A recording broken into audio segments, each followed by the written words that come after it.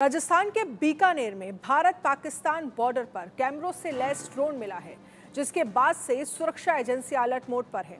सूचना मिलने पर बीएसएफ और पुलिस के अधिकारी भी जाँच के लिए मौके पर पहुँचे और ड्रोन को जब्त कर लिया है। ये ड्रोन बीकानेर ज़िले के खाजूवाला के रोही इलाके में मिला है।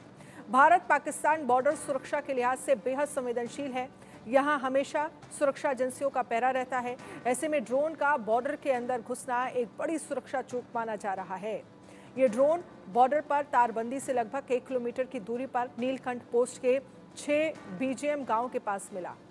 बीएसएफ की 114 बटालियन के अधिकारियों के मुताबिक ये ड्रोन पाकिस्तान से आकर मुमताज़ नाम के एक किसान के खेत में गिरा है। दोपहर करीब 12 बजे मोहम्मद अलादीन अपनी भेड़ और बकरियों को लेकर चराने गया था। इस दौरान उसे ड्रोन दिखा। ड्रोन देखने के बाद अलादीन ने गाँव के ही मुमताज़ अलादीन नाम के व्यक्ति को इसकी जानकारी दी। मुमताज़ ने इसकी सूचना बीएसएफ और पुलिस वालों को दी। सूचना पाकर मौके पर पहुँची पुलिस की टीम ने ड्रोन जब्त कर लिया है, जिसके बाद सर्च अभियान जो है वो चलाया गया। अधिकारियों को आशंका है कि आसपास के इलाके में ड्रग फेंकने के बाद ये ड्रोन वापस नहीं लौट पाया होगा।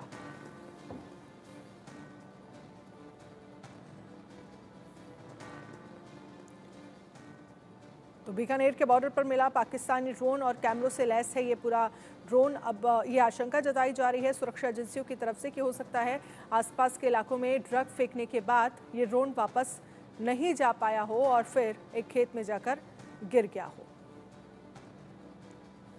तो बीकानेर के बॉर्डर पर मिला पाकिस्तानी ड्रोन। पाकिस्तान से आकर खेत में गिरा ये ड्रोन और आप ड्रोन में देख सकते हैं, चारों तरफ़ कैमरे लगे हुए हैं और सुरक्षा के लिहाज से इस पूरे मामले को लेकर जाँच की जा रही है।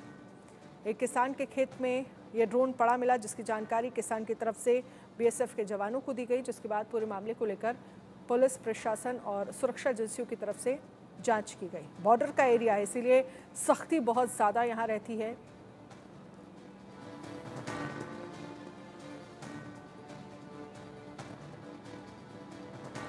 तो पाकिस्तान से आकर खेत में ये ड्रोन गिरा।